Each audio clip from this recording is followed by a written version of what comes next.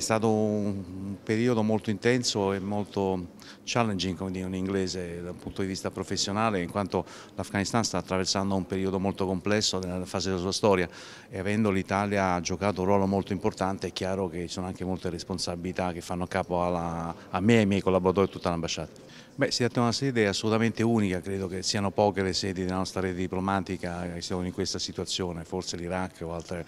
Eh, questo è appunto un paese in cui l'Italia è stata presente fino a 4.000 soldati eh, impiegati sul terreno, abbiamo avuto anche dei morti, quindi è stata una situazione piuttosto complicata, ma soprattutto le condizioni di vita che sono assolutamente straordinarie perché viviamo tutti sotto un regime di sicurezza strettissimo che limita molto i nostri movimenti. Ci sono alcune cose abbastanza divertenti perché non sono finite in modo tragico, sono i classici viaggi di, di, di, italiani che entrano in bicicletta o fanno trekking dai, dai, paesi confinanti non rendendosi conto oppure rendendosi conto ma appunto non, non, badando al pericolo e quindi bisognava ritrovarli in mezzo alle campagne e convincerli a lasciare il paese, quindi non è successo niente. Sono stati poi altri episodi tragici in cui anche degli amici hanno perso la vita come lo scorso mese di maggio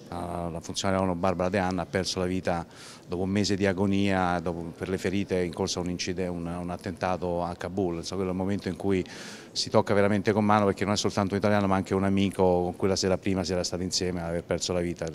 L'Afghanistan inoltre è una, una nazione che sta venendo fuori dopo 30 anni di guerre, quindi è come lavorare su dell'argilla per plasmare qualcosa di nuovo, quindi penso che sia anche molto importante dal punto di vista creativo.